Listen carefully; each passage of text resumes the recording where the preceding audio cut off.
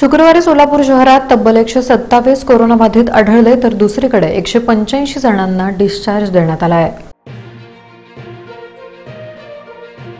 Corona बाधितांच्या संख्येत शुक्रवारी एकशे सत्तावीस पॉझिटिव्ह रुग्णांची भर पडलेली आहे. यामुळं आजवरचा बाधितांचा आकडा हा आता चार हजार तीनशे पाच वर पोचलेला आहे. दररोज मृतांची संख्या देखील समोर येते आहे.